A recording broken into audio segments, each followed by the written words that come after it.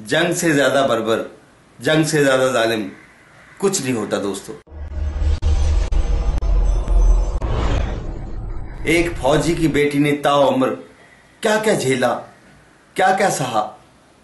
उसको सोचकर भी रूह कांप जाएगी आपकी ਮੈਂ ਇੱਕ ਸਿੱਖ ਫੌਜੀ ਦੀ ਧੀ ਆ ਮੇਰੇ ਫਾਦਰ ਸਾਹਿਬ 1971 ਦੀ ਜੰਗ ਲੜੀ ਸੀ ਉਹਨਾਂ ਨੇ 10 ਸਿੱਖ ਜੁਮਟ ਸੀਗੀ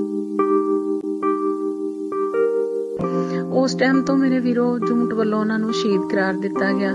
ਪਰ ਨਾ ਉਹਨਾਂ ਦੀ ਡੈੱਡ ਬੋਡੀ ਨਾ ਉਹਨਾਂ ਦੀਆਂ ਆਸਤੀਆਂ ਨਾ ਉਹਨਾਂ ਦੇ ਸੰਸਕਾਰ ਦੇ ਕੋਈ ਫੋਟੋਗ੍ਰਾਫ ਕੁਝ ਵੀ ਨਹੀਂ ਦਿੱਤਾ ਸਾਨੂੰ मेरे फादर साहब जब जंग में गए थे उसके बाद ढाई महीने बाद का जन्म है मेरा आज तक मैंने अपने पापा को नहीं देखा अ, दो मई 2016 को हमें पता चला कि वो लाइव है और पाकिस्तान की जेल में बंद है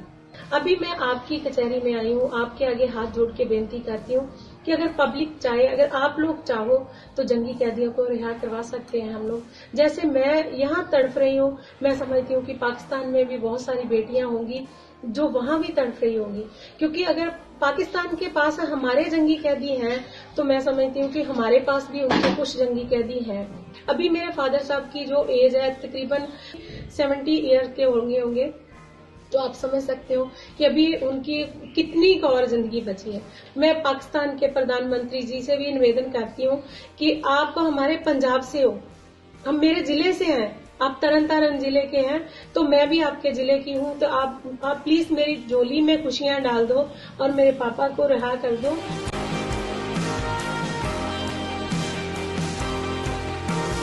14 ਜ਼ਿਲ੍ਹਿਆਂ ਦੇ ਵਿੱਚ ਕੈਂਡਲ ਮਾਰਚ ਕੀਤਾ ਮੈਂ ਕੋਈ ਸੁਣਵਾਈ ਨਹੀਂ ਬਾਦਲ ਦੀ ਕੋਠੀ ਦੇ ਅੱਗੇ 23 ਸਤੰਬਰ ਤੋਂ ਲੈ ਕੇ 19 ਅਕਤੂਬਰ ਤੱਕ ਧਰਨਾ ਲਾਇਆ ਕੋਈ ਸੁਣਵਾਈ ਨਹੀਂ ਪ੍ਰਧਾਨ ਮੰਤਰੀ ਨੂੰ ਚਿੱਠੀ ਤੇ ਚਿੱਠੀ ਪਾ ਰਹੀ ਹਾਂ ਕੋਈ ਜਵਾਬ ਨਹੀਂ